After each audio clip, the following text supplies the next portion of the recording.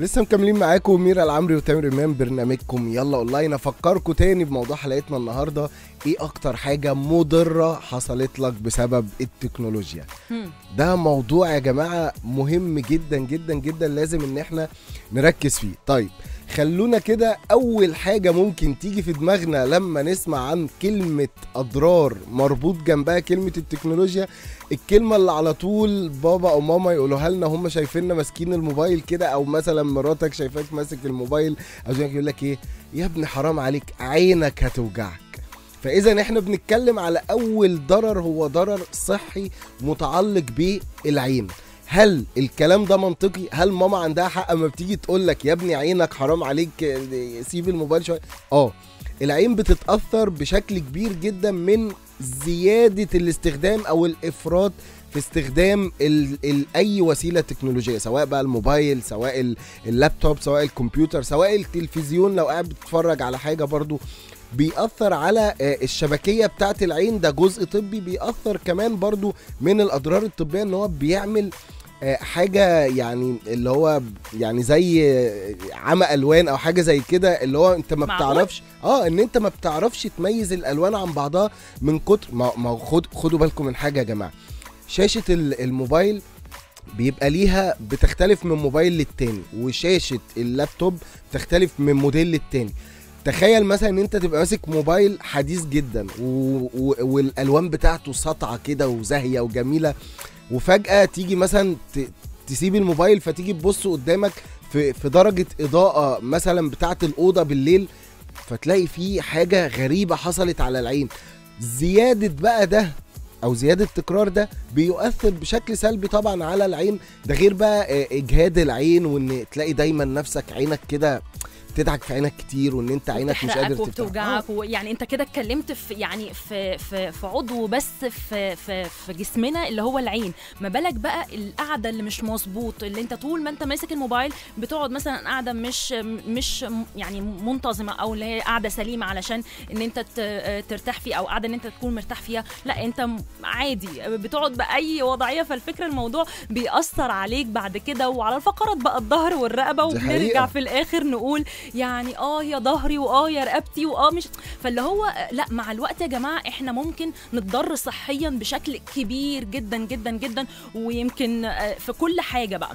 آه، صحيح. الفكرة كمان إن استخدامنا للتكنولوجيا والموبايلات والإنترنت والحاجات دي كلها بتخلينا إن إحنا ننعزل شوية ناخد جنب شوية آه، مش مش زي قبل كده مش زي زمان لما كنا بنقعد قبل كده كنا بنقعد ناكل مع بعض نتفرج على التلفزيون مع بعض ما كانتش الت- التكنولوجيا واخدة من حياتنا كتير واخدة كل فرد في أوضته قافل عليه الباب. لا إحنا كنا زمان عادي جدا يا جماعة نخرج ونقعد مع بعض والكلام ده كله. لكن جت التكنولوجيا عملت ما بيننا حاجز عملت ما بيننا فاصل مش فاصل بس هو عالم افتراضي خلينا نسميه.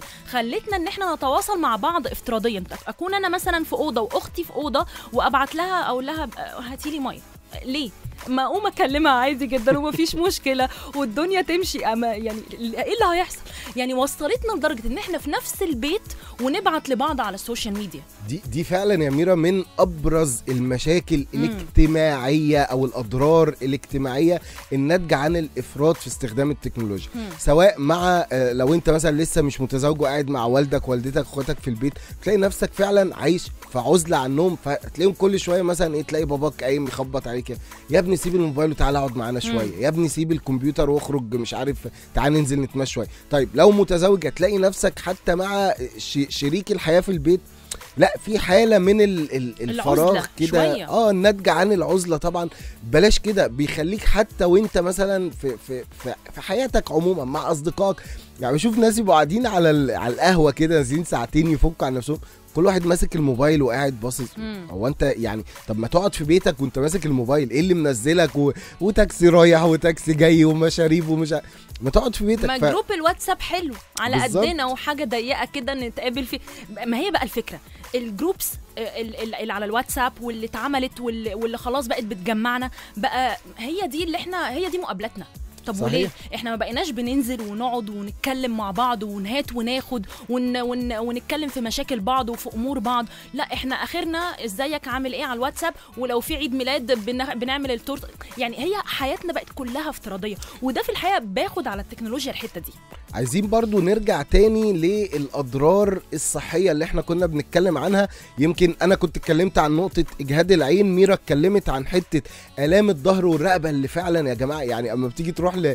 ل... يعني ربنا ما يحكم على حد يعني تيجي تروح لدكتور آه، بتاع آه، عمود فقري أول سؤال والله أول سؤال هيسألوه لك بتقعد على الموبايل كتير؟ ط- طبيعة شغلك إيه؟ في لابتوب قاعد قدامه على طول؟ آه يا خلاص هو عارف على طول. ده من ضمن الأضرار. طيب في أضرار تاني؟ آه في أضرار تاني.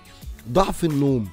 جرب كده إن أنت مثلا تقعد أسبوع بتستخدم فيه استخدامك العادي للموبايل واللابتوب بتاعك وتابع معدلات نومك. طيب الأسبوع اللي بعده على طول جرب إن أنت تقلل مش هقول لك بقى تلغي لأ قلل من معدلات استخدامك لوسائل التكنولوجيا.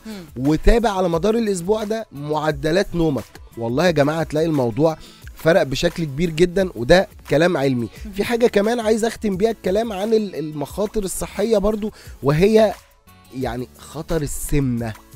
آه القعدة على اللابتوب كتير. calories كتير بناكل كتير فشار جنبنا كتير. طبعا الحاجات دي مع كتر الاستخدام.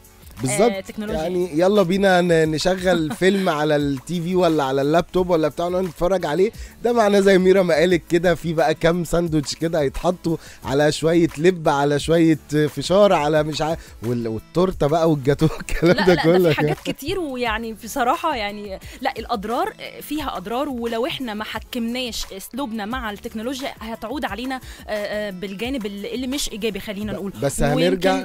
آه هنرجع ميرا ارجع لجملتك اللي انت قلتيها في اول الحلقة كل ده بإيدك انت. طبعا طبعا وباختيارات المستخدم هو.